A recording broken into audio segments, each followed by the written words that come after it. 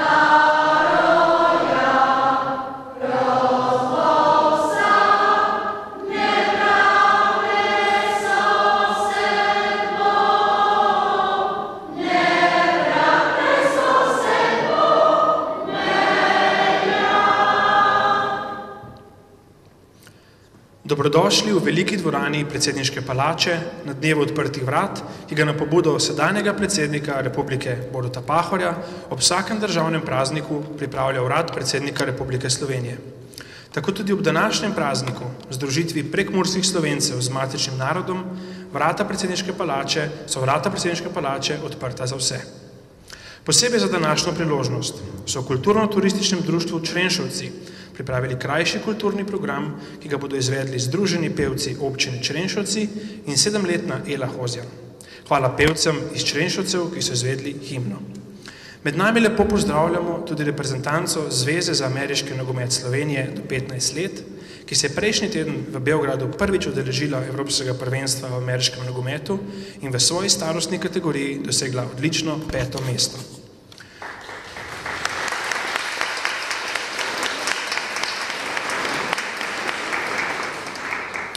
Prav lepo pa pozdravljamo tudi predstavnike občine Črenšovci na čelu z županom gospodom Antonom Trnerjem, ki ga vabimo k besedi. Županovemu pozdravu bo sledilo pismo Ele Hozjan, ki ga je pripravila posebej za današnji praznik.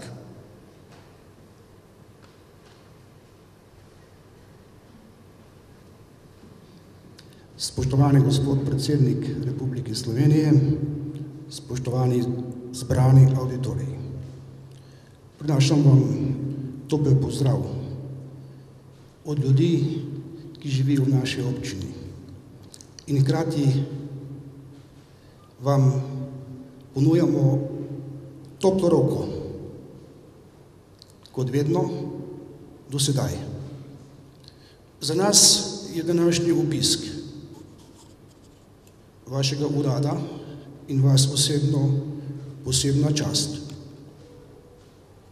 Zato se vam iskreno zahvaljujem za vabilo, da smemo biti danes tukaj le ob zelo pomembnem državnem prazniku, dnevu združitve prekmorskih slovencev z matičnim narodom, ki smo ga v naših krajih v preteklih dneh primerno proslavili.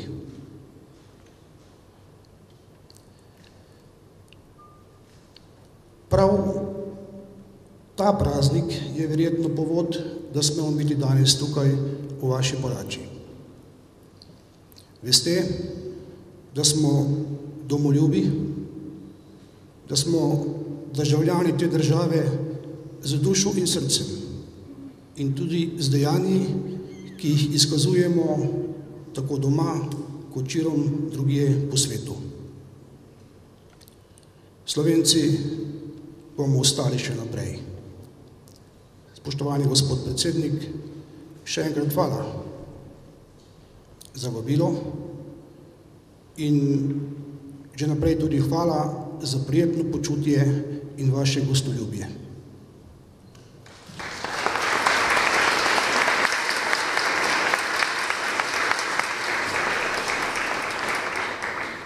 Hvala županu občine Črenšovci. Ela, izvoli.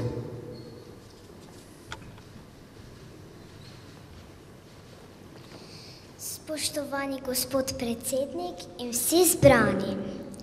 Sem Ela in sem zelo vesela, da sem danes tu v predsedniški palači. Z vami, gospod predsednik, sem, sem se prvič srečala v petek v Črenšovcih. Večkrat sem vas že videla po televiziji in vem, da vam je ime Borut Pahor. Vem tudi, da ste predsednik naše domovine Slovenije.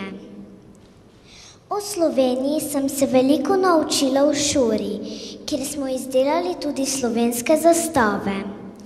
Domovino Slovenijo imam zelo rada, vsi v naši družini jo imamo radi. Zelo sem vesela, da očka ob državnih praznikih na našem balkonu izobesi slovensko zastavo. To zastavo smo lani kupili, ko je bila v občini Črenšovcih organizirana domoljubna akcija Kupem pa izobesim slovensko zastavo. Da imamo radi domovino, izkazujemo tudi, da primerno obeležimo državne praznike, praznike. Danes je državni praznik združitve prekmorskih slovencev z matičnim narodom. To je pomemben praznik za vse, za vse prekmorke in prekmorce, za vse slovenke in slovence. Sama sem nastopila na osrednji občinski prireditvi v, v občastitev tega praznika, v petek v Črenšovcih. Bilo je zelo lepo. Vesela sem, da sem bila tako pogumna in sem skupaj z Mihom dobro upravila svojo nalogo. Veliko smo se pripravljali in na pamet sva se naučila veliko besedila. Na vajah smo se tudi snemali in se tako učili, kako izboljšati svoj nastop. To je bilo zelo zabavno. Meni je bilo zelo zanimivo, ko sem prvič imela na glavni mikrofon. Smešno mi je bilo, ko sem glasno, kako glasno sem se slišala. Tako sem se na vajah tudi malce zabavala. Zvečer mi je bilo prijetno, saj so mi številni čestitali. Name sta bila ponosna tudi mamica in očka, prav tako sestra Mija in vsi sorodniki.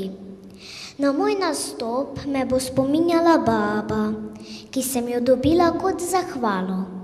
Vam, spoštovani gospod predsednik, želim podariti prav takšno babo. Naj vas spominja na naše prijetno srečanje. Podarjam vam tudi risbico, ki sem jo narisala. Vem, da imate na voljo veliko fotografij o prireditvi v, v Črenšovcih. Gotovo pa nimate še nobene risbe o tem praznovanju, zato vam jo podarjam. Narisala sem našo občino, najo z Mihom pred prekmursko hišo ter našega gospoda župana in vas, spoštovani gospod predsednik, kako spremljata program. Tako petkovo srečanje kot današnje praznovanje državnega praznika mi bo ostalo v prijetnem spominu. Naj živi naša domovina Slovenija.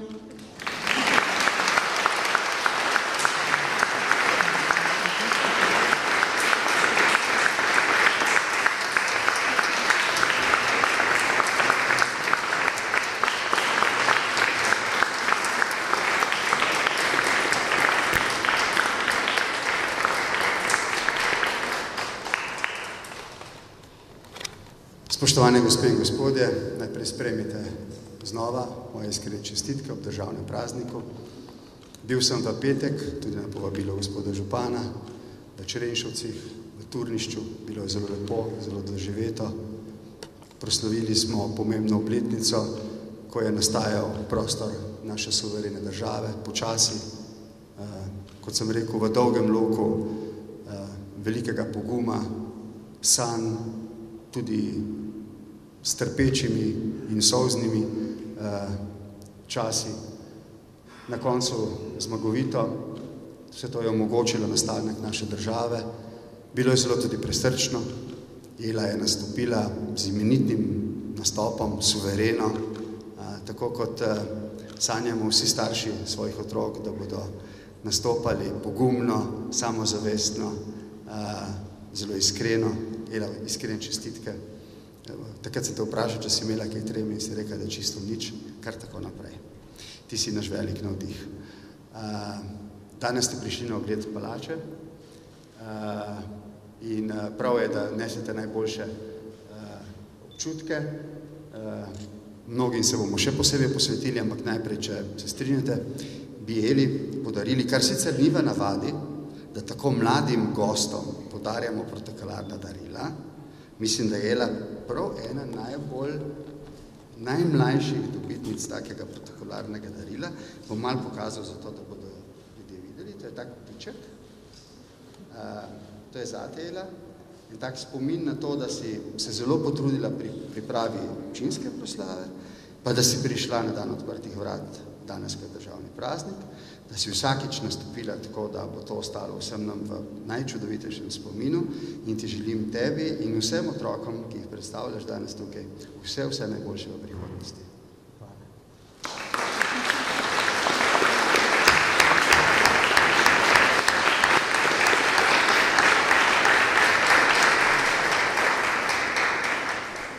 Hvala Eli Hozjan za misli v državnem prazniku ter predsedniku Republike Slovenije za čestitke. Sedaj pa se nam bodo slovensko ljudsko pesmijo Slovenska krajina ponovno predstavili združeni pevci iz Čenšovcev.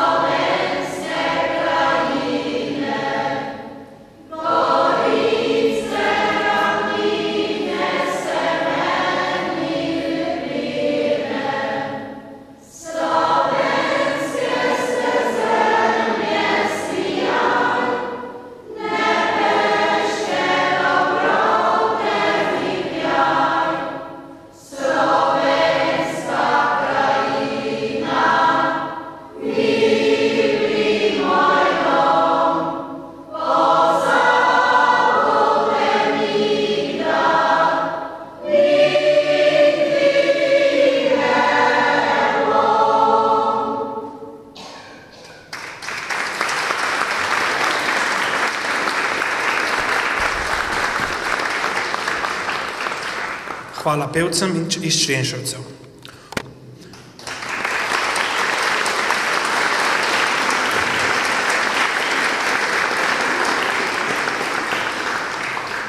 bomo naredili eno fotografijo, predvsem pa bom izkoristil to priložnost, da vam v našem skupnem imenu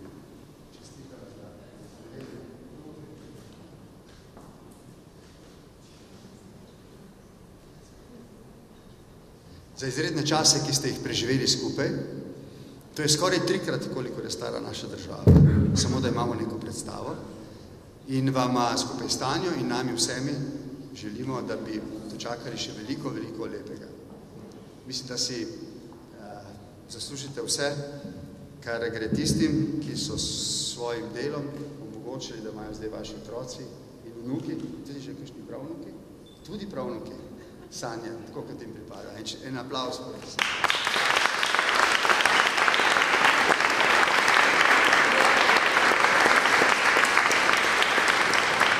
Smo posebej posveče, eh, eh, počaščeni, da, čeprav razumem, ste si kot neko darilo za to obletnico zaželeli obiskati palačo in se bomo prav za vas še posebej potrudili. Vendar, preden to storimo, bi storil tudi tej priložnosti, tako kot sem v Elinem primeru, eno izjemo.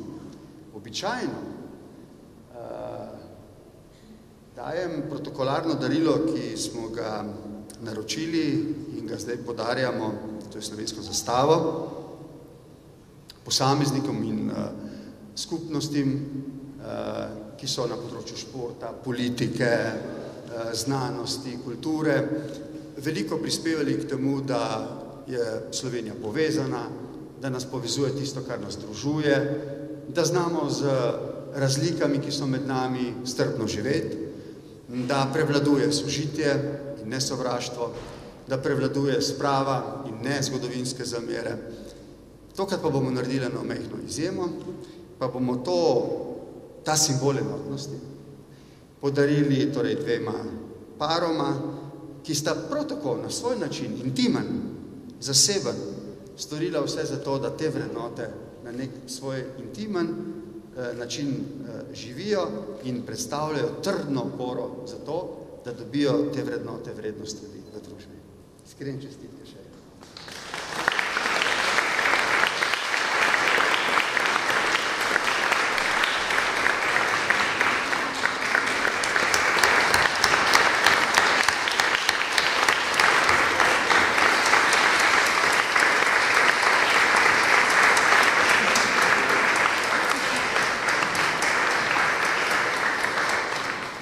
Najlepša hvala predsedniku Republike Slovenije. Uvodni del dneva odprtih vrat je s tem končan. Obiskovalce vljudno vabimo na vodenje ogled prostorov Urada predsednika Republike Slovenije. Kot prve prosimo, da se eh, ogleda udeležite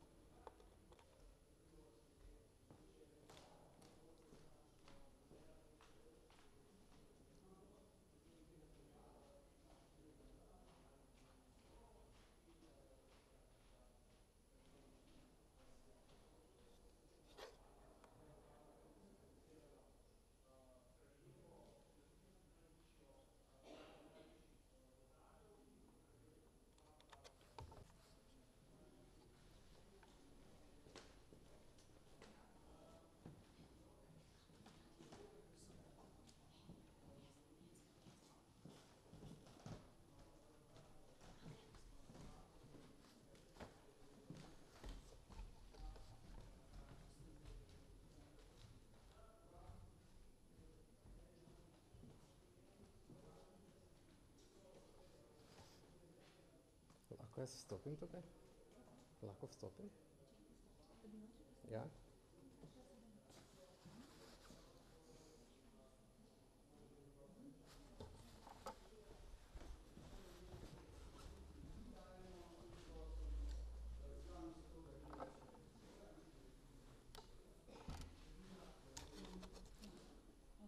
En kader samo, čisto kratek.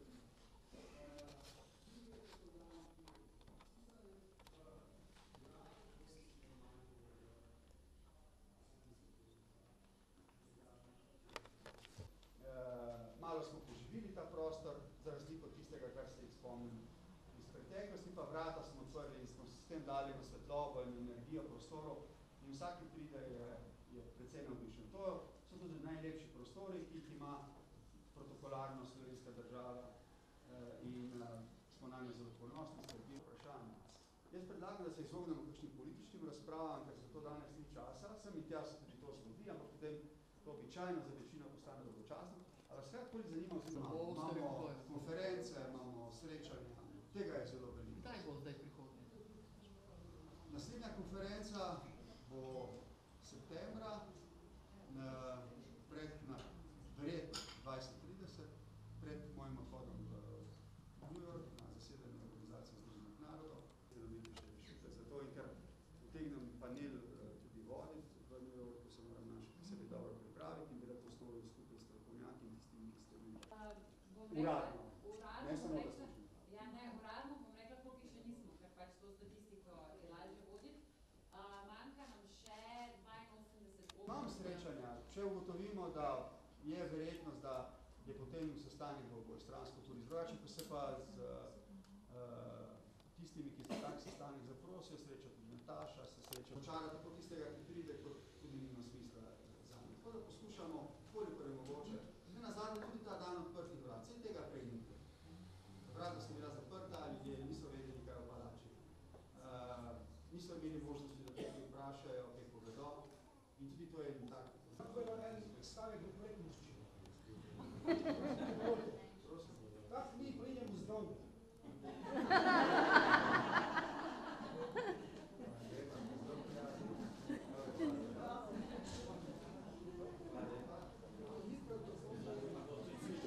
To je ljubeznivost.